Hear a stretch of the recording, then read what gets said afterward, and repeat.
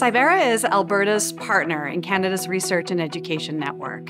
We are there to support the public sector in connecting our institutions, our schools, and research organizations to the world.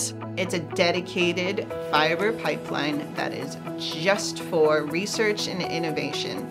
So, this means if you are at a university, you can connect to any university around the world and you are using that dedicated network to do that. It will always be our foundational reason for being. Running Alberta's Research Education Network is where we came from. Our roots are in networking and it's core to everything that we do. And based on this foundation, we're able to tackle all the other things we want to do on top of this network. We also provide a peering network service where members are able to connect to most popular internet sites like Google and Microsoft, unmetered and uncapped. And we were able to connect to other ones, like the SuperNet is a big one. It connects to every single public building in the province. Um, because we connect to that, and anyone who is also connected to that, they can get onto our network. We also provide the Internet Buying Group.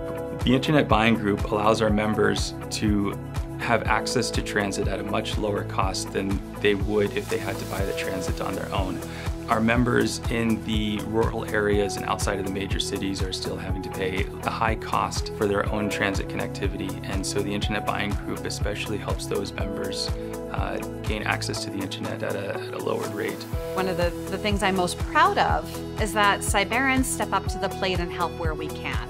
We are there participating on every committee. We are there trying to drive the National Research Education Network mission and vision forward for the greater good across Canada. It's not just us on our own, so it's really important that we work with our partners across the country. The bottom line is we're, we're trying to find ways to use our network to create a better internet experience for the final users, but also something that's less risky and less costly, let's say, for the administrators at the institutions.